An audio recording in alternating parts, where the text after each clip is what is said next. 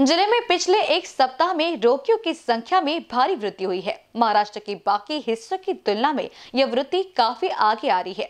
इसलिए कुछ प्रतिबंध लगाना अनिवार्य होगा ताकि कोरोना रोग फिर से न फैले। इस संबंध में जिला कलेक्टर ने आज स्वास्थ्य भवन, स्वास्थ्य राजस्व, पुलिस और अन्य सभी एजेंसियों के प्रमुख के साथ समीक्षा बैठक ली।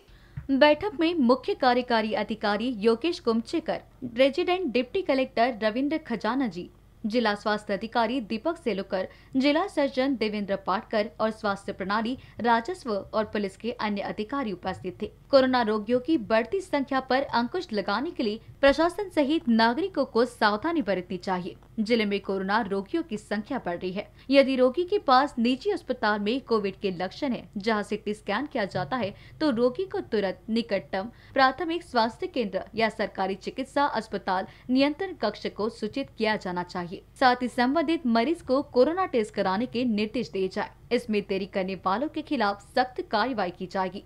दूध सब्ज़ी उगाने वाले, अखबार बेचने वाले, हथकरघा, दुकानदार, ऑटो चालकों जैसे समुदाय के नियमित संपर्क पर रैपिड एंटीजन परीक्षण किया जाना चाहिए। सार्वजनिक स्थानों, शौचालयों, बसों, रेलवे में सभी स्वच्छता नियमों को कड़ाई से पालन किया जाना चाहिए। इन स्थानों में नियमित कीटाणु शोधन के लिए छिड़काव कार्यक्रम लागू किया जाना चाहिए। एक शादी समारोह में 50 से अधिक व्यक्तियों की उपस्थिति निषिद्ध है। शादी में उपस्थित सभी व्यक्तियों के लिए मास्क पहनना, सैनिटाइजर का उपयोग करना, सामाजिक दूरी का पालन करना अनिवार्य है।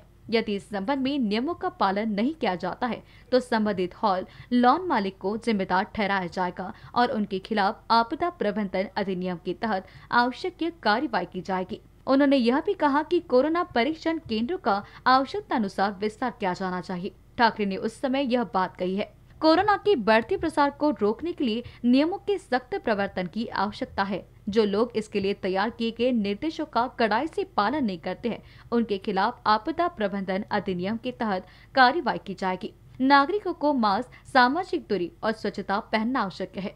रेस्टोरेंट, होटल, भोजनालयों को 50 प्रतिशत क्षमता पर शुरू करने के आदेश दिए गए हैं। इस संबंध में निर्धारित नियमों और शर्तों का कड़ाई से पालन किया जाना चाहिए। यदि कोई निजी चिकित्सक कोविड जैसा रोगी पाता है तो उसे निकटतम प्राथमिक स्वास्थ्य केंद्र या सरकारी चिकित्सा अस्पताल के नियंत्रण कक्ष को सूचित करना चाहिए। कोरोना वायरस के प्रसार को रोकने के लिए आपदा प्रबंधन अधिनियम 2005 और संक्रामक रोगों से बचाव अधिनियम अठारह सौ सतानवे के तहत निवारक उपायों का प्रभावी कार्यान्वयन सभी स्तरों पर किया जाना चाहिए। कैमरा पर्सन राजकुमार मोहट के साथ अभिषेक पांसी की रिपोर्ट।